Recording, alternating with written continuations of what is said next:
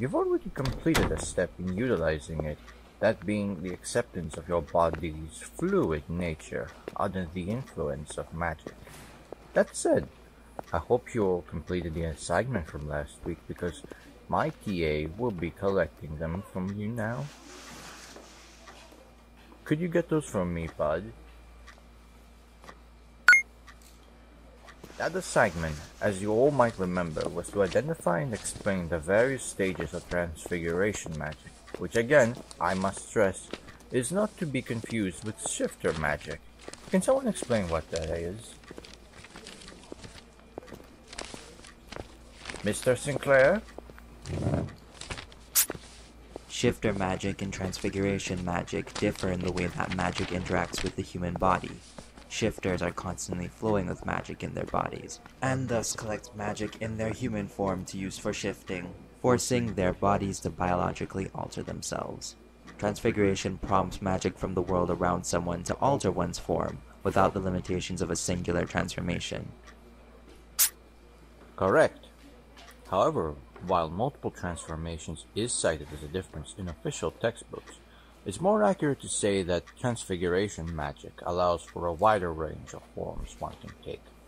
Keep in mind, shifters, even though it is rare to see, are able to take on multiple bestial forms. Thank you, Mr. Sinclair. Please take your seat. Yes, Mr. Masters. Now, while you're all aware that your official practical assessment isn't until a few months from now, I would like for each of you to come forward and demonstrate your current capacity for transfiguration magic. This will allow me to properly gauge where each of you are in your skills to determine what you may need to work on for the semester as we spend our time here together productively. Who's first?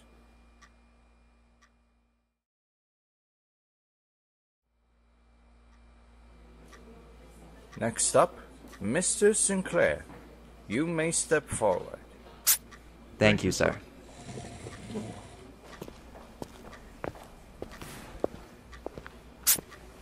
Now, remember to breathe and make your best effort.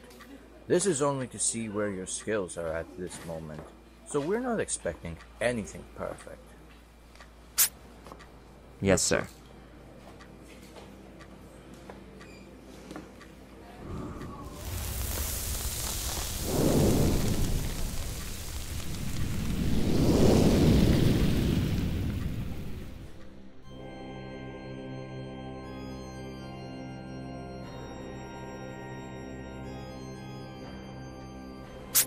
Well done. A brilliant alteration of form, increase in size, sober exaggeration of features, and certainly a form befitting of someone named after a greater demon. Already there's a lot of potential in your future with That's so fucking cool. Mr. Ortiz. Shit. Sorry. While I understand your excitement, please limit your expression to something with less profanity during my lectures. Gotcha. Seeing as how you were so excited, you can go next. Sweet. Thank you, Mr. Sinclair. You may return to your seat while Mr. Ortiz performs his demonstration. Yes, sir.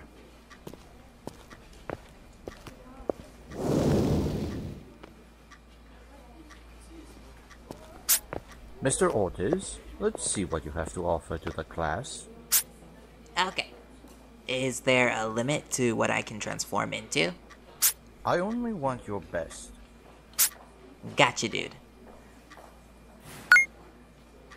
Right, sir. Gotcha, sir. Whenever you're ready.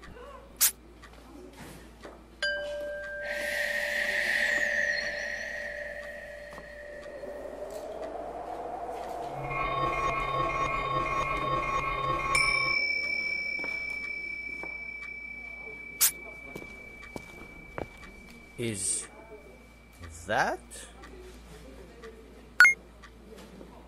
Yes, I know it's a Pikachu. There is an attention to detail that you've even added your own flair to the form. And I talk. And you talk. That is a very keen sense of control over your own magical output. Can you actually create electric discharges? Sure.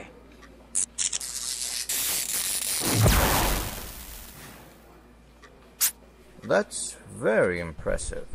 How long have you been using transfiguration magic? Since I was 13. Hey bud, you're in class. Pick your jaw up from the floor. As for you, Mr. Ortiz, you did exceptionally well. You're quite an advanced student for your age, so I will commend you on your performance. Hell yeah! That said, please control yourself so the rest of the class can pay attention to the lesson. We don't need any distractions. Sure, Teach. Uh, right, Mr. Masters. Return to your seat, please, and let's get going with the next volunteer.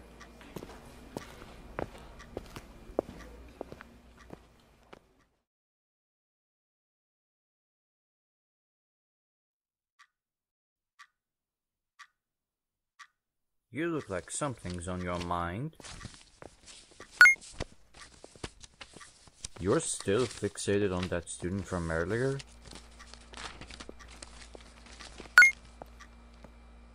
His choice to be a Pokemon was interesting. I'm more impressed that he was actually able to create a functional form. Because it's one thing to transform into an animal, Bud. It's another thing to take the form of a fictional creature, much less one that biology shouldn't be able to generate electricity. It takes a lot of skill and knowledge to be that precise. Careful. You keep praising him and I might make Mr. Ortiz my new TA. I kid.